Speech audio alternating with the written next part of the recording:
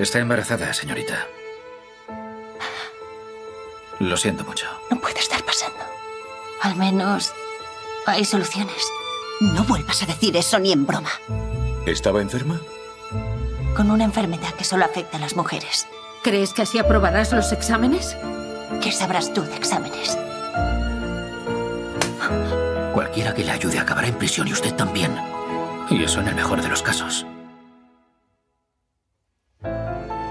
Es demasiado tarde. No.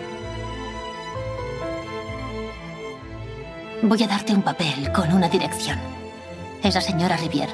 Si quiere hacerlo, será bajo su responsabilidad. La mayoría de médicos no están a favor del aborto. Creen que las mujeres no deben tener derecho a elegir. ¿Quiere dedicarse a la enseñanza? Quiero escribir.